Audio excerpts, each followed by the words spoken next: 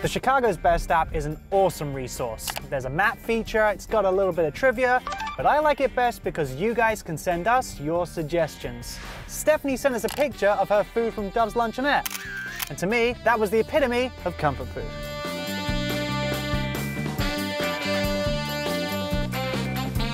It's cold outside. I'm looking for some great comfort food, and I hear there are fans of our show on our app that Yes. this is the place to come. This is the place to come. It's Mexican influenced food with a little bit of southern inspiration in there.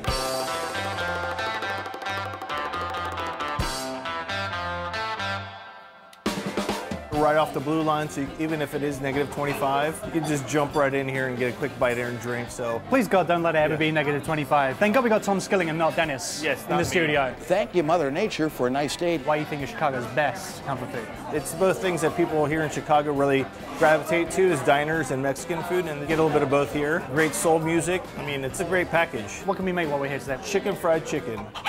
Chicken fried chicken. Yeah. Why do you need to emphasize that twice? Sounds better if you say it twice. Okay. Yeah.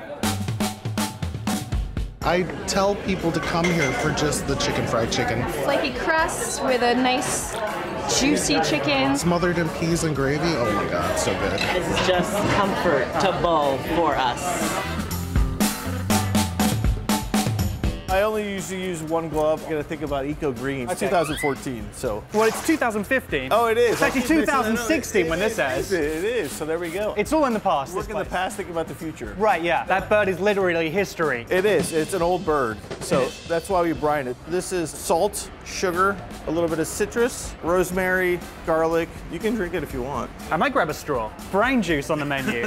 And then we just let that brine for 45 minutes. Our little birdie takes a bath in some seasoned flour, buttermilk, Swim, little birdie. and more flour. Then it gets a nice little steam bath in the fryer. We can't do chicken fried chicken without gravy. You can't.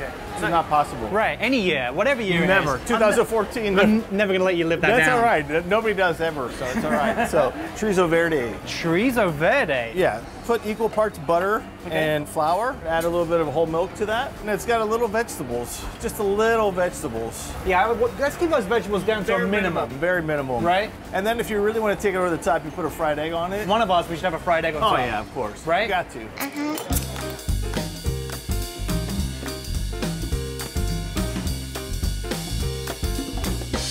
Let's make it run. Oh my god. Okay. Just like mom used to make. No way.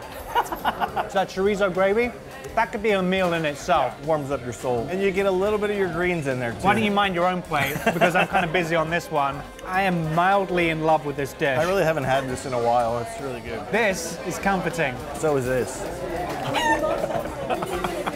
I got hot on the outside and on the inside.